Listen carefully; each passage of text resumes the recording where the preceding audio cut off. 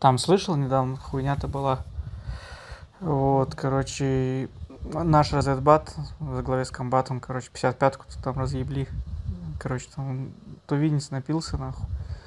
По э, этому Аглию хуярить начал с автомата. Тут батальон к бою отправил, нахуй. Они на беттере приехали, нахуй, там. Троих за трехсотили, нахуй. Или сколько там человек. Остальных всех на колени поставили, нахуй. Сказал, извиняйтесь, пидоры, пока вас не расхуярили, короче. Ну, вот такая вот хуйня. И, короче, это...